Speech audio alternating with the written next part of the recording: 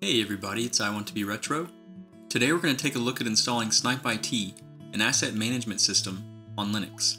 To get started, launch a terminal and run sudo apt update and sudo apt upgrade to install any available software updates. Then we'll use apt install to install a few prerequisite packages. Next, we'll use apt install to install the Apache 2 web server and MariaDB database backend. Followed by another apt install to install PHP and the required components. We'll elevate to a root shell using sudo su, then execute the MySQL secure installation script. Follow the prompts to set a root MySQL password and mitigate known MySQL vulnerabilities.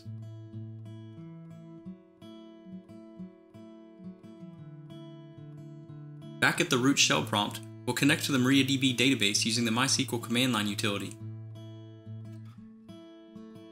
Using SQL commands, we'll create a Snipe IT database as well as a Surface account with full permissions to the new database. We'll flush privileges, close the MySQL connection, then exit the root shell.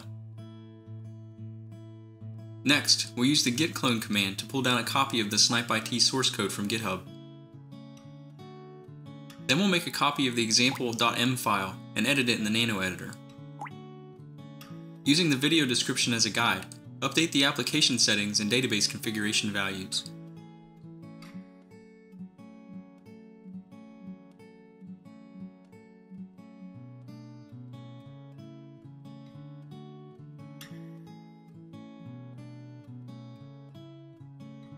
Then continue scrolling down the file and update the outgoing email server settings.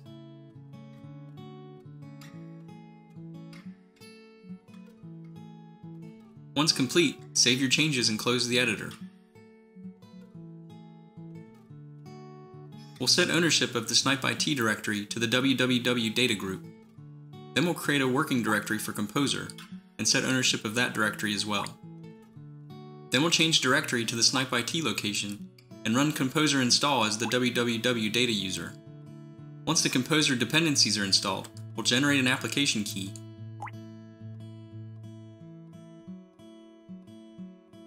Then we'll create a new Apache site configuration file for Snipe IT. Copy the site configuration from the video description, then save your changes and close the editor.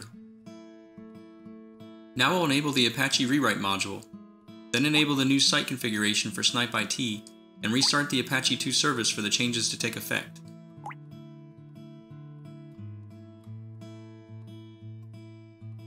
Open a web browser and navigate to the DNS or IP address of the host slash snipeit. Click the Next button at the bottom right of the page. Once the database tables are created, click Next to create an admin user.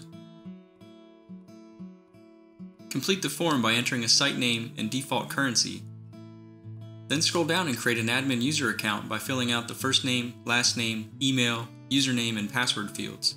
Then click Next to save the user account.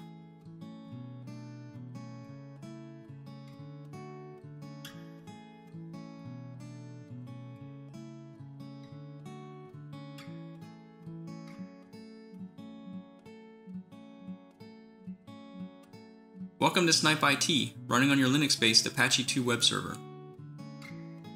To switch to dark mode, go to Settings, Branding, then scroll down and select a dark mode skin.